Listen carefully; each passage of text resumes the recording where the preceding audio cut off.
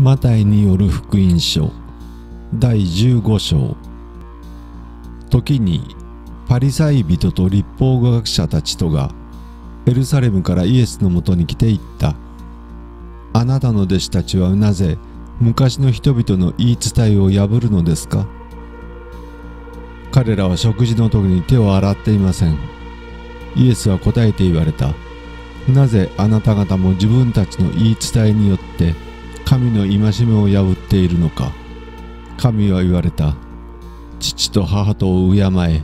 また父または母を罵る者は必ず死に定められると。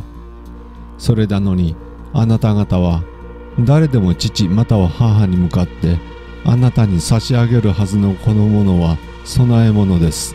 と言えば父または母を敬わなくてもよろしいと言っている。こうしてあなた方は自分たちの言い伝えによって神の言葉を無にしている。偽善者たちよイザヤがあなた方についてこういう適切な予言をしている。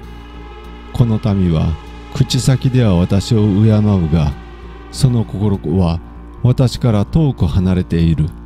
人間の戒めを教えとして教え無意味に私を拝んでいる。それからイエスは群衆を呼び寄せて言われた。聞いて悟るがよい。口に入るものは人を汚すことはない。かえって口から出るものが人を汚すのである。その時弟子たちが近寄ってきてイエスに言った。パリサイ人たちが御言葉を聞いてつまずいたことをご存知ですか？イエスは答えて言われた。私の天の父がお上にならなかったものは皆抜き取られるであろう。彼らをそのままにしておけ。彼らは盲人を手引きする盲人である。もし盲人が盲人を手引きするなら二人とも穴に落ち込むであろう。ペトロが答えて言った。その例えを説明してください。イエスは言われた。あなた方もまだわからないのか。口には入ってくるものは皆腹の中に入りそして外に出ていくことを知らないのか。しかし口から出ていくものは心の中から出てくるのであってそれが人を汚すのである。というのは悪い思いすなわち殺人姦淫不貧困盗み偽証そしりは心の中から出てくるのであってこれらのものが人を汚すのである。しかし洗わない手で食事することは人を汚すのではない。さてイエスはそこを出てツロとシドンとの地方へ行かれた。するとそこへその地方でのカナンの女が出てきて「主よダビデの子よ私を憐れんでください。娘が悪霊に取りつかれて苦しんでいます」と言って叫び続けた。しかしイエスは一言もお答えにならなかった。そこで弟子たちが身元に来て願っていった。この女を追い払ってください。叫びながらついてきていますから。するとイエスは答えて言われた。私はイスラエルの家の失われた羊以外のものには使わされていない。しかし女は近寄りイエスを拝して言った。主よ私をお助けください。イエスは答えて言われた。子供たちのパンを取って子犬に投げてやるのはよろしくない。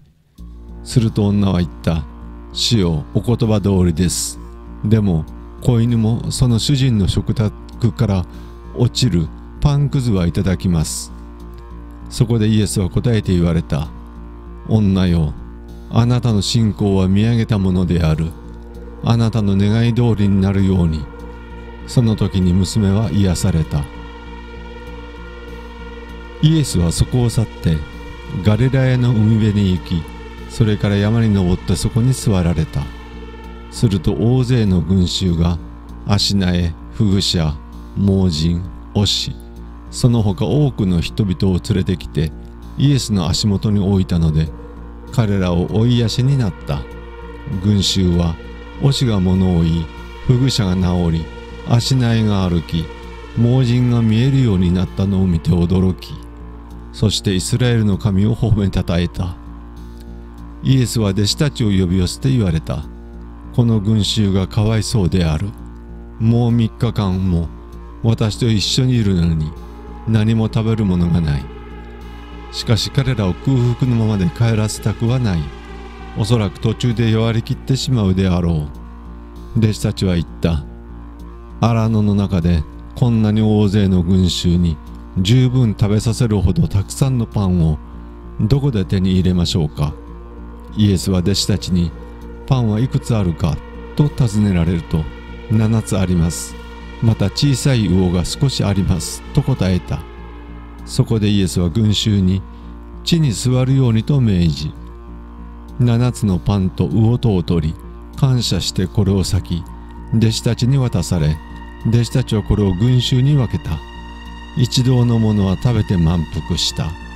そして残ったパンくずを集めると7つのカゴにいっぱいになった。